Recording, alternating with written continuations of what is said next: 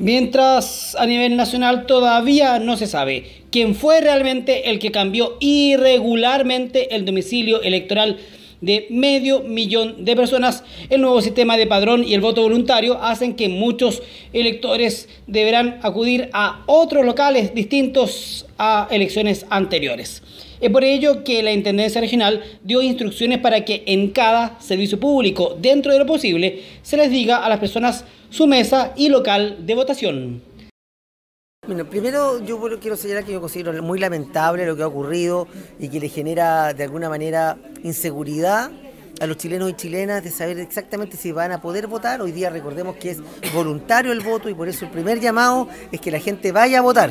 Eso es lo más importante, porque si bien es voluntario, eso significa que tenemos más responsabilidad aún.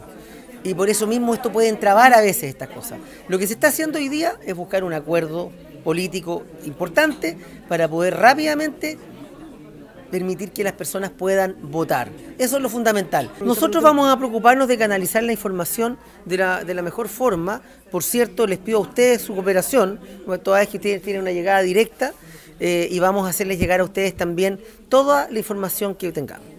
Adicionalmente, se anunciaron 98 millones de pesos para subsidiar buses rurales y lanchas de acercamiento en unos 160 recorridos que permitirán el traslado gratuito de electores.